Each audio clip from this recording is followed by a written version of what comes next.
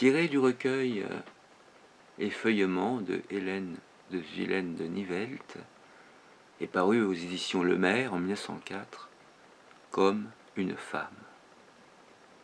Le soir se détourne et dérobe la langueur de son front meurtri. Des asphodèles ont fleuri les plus les j'ai du mal. Ah, en même temps, je découvre. hein. je découvre avec toi. Bon. Je reprends donc le, le- le poème. On reprend, allez, on reprend. Coupé et on, re- on reprend. Hmm.